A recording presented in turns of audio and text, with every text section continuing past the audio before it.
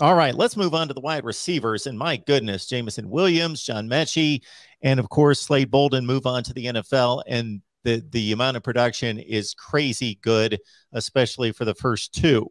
All right, we got a sampling during games down this stretch when it was either Jameson Williams having to leave the game because of a targeting uh, call, and then of course later in the national championship game he is taken out. John Metchie misses the playoffs. That we saw certain members of this highly talented backup wave step in and maybe not quite hit uh, the target in regards to what's expected of an Alabama wide receiver. Your thoughts about how these guys will battle starting in the spring?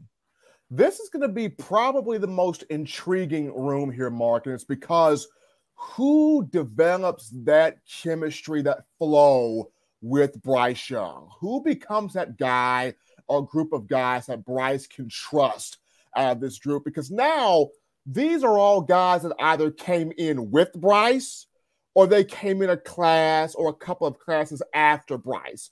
Bryce inherited a, a, a John Metchie. He inherited a Slade Bolden. He was blessed to get a Jameson Williams from the transfer portal. But now these are all guys that all came with him or came a class or two after him. So this this becomes a very intriguing group here because – like you mentioned, you bring back a Ja'Corey Brooks, and here's a guy that was one of those guys that had to step up when a John Metchie went down, when a Jameson Williams went down, and Ja'Corey Brooks, we saw he made the big catch against Auburn in the Iron Bowl to tie the game at 10 and force the crazy four overtimes. And Alabama won the game by two at Jordan Hare. Ja'Corey Brooks also had a big touchdown in the Cotton Bowl against Cincinnati. So he's made some big plays. He's had some drops, but he's made some big plays also. Then you look at and uh, a J.I. Hall who exploded in the spring game last year, and folks going, "Oh my gosh, this guy needs to start." When he had the four catches for 72 yards at Bryant Denny, but it did not materialize into the regular season, of course. And we've seen where Coach Saban mentioned, you know, he had to get some things squared away, you know, off the field and becoming that player and that individual off the field that he needs to be. Well, late in the 2021 campaign, uh, Hall got better with that. And you saw where he was rewarded with some playing time in the national championship game, but wasn't quite ready for the moment just then. And he admitted to that on social media. He did. So now it comes back to how much has that moment grew him in terms of the maturity of understanding, okay, I had that moment. I wasn't quite ready for that moment. Now I'm ready to become the receiver that I need to be in terms of having that chemistry and that flow with Bryce Young. So there's a J.I. Hall.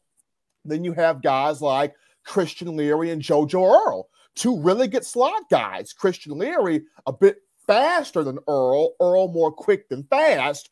But now you have an Aaron Anderson as a freshman in here from Louisiana a complete track burner and a guy that can create that separation. And as you and I, and as you know as well as I do, Mark, speed kills in college football. And we saw that in the national championship game. When Jameson Williams went down, Kirby Smart was like, okay, they don't have anybody else that can do what number one does. So we can now lock up these receivers, take them out their element, bring pressure to Bryce Young because Alabama does not have that guy like a Jameson Williams that can burn a defense and that can dictate how a defense should play Alabama. That can change the entire paradigm of a football game on the field with his speed. So Aaron Anderson, a freshman, has that type of acceleration that can change the whole paradigm on the field. So spring ball between uh, Anderson, Earle, Christian Leary, that's going to be fun. Who wins the slot? Who commands that type of attention from the slot that Jameson Williams did just a season ago. And then you have guys like Traeshon Holden, who came in with Bryce Young from California, roommates with Bryce Young. You know, does that does that finally click? Does that roommate magic between Bryce and Holden finally click with each other?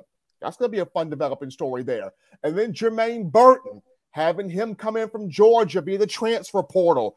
You know, how does this look like? Does he play at the top of the formation? Is he at the bottom? What's that relationship like between he and Young? So I look at this group of receivers right here, Mark. It's which guy or which group of guys quickly hits it off with Bryce Young and the reigning Heisman Trophy winner feels like I can trust this particular person.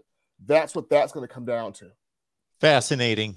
Fascinating at the wide receiver position, no doubt, because as you say, Jermaine Burton comes in. He wasn't like a number one guy off the charts, like a Jameson Williams, Jerry Jeudy kind of guy, but certainly proved productive consistently for a championship caliber team. So he's not uh, not accustomed to the the big stage and the big moments. And then you've got this host of players that at times you saw that spark, you saw that glimpse of what they could be, but then we saw the disappointments with a couple just enormous drops in the national championship game where Bryce Young just placed it on a dime and it didn't get done there in the fourth quarter. Uh, so it will be fascinating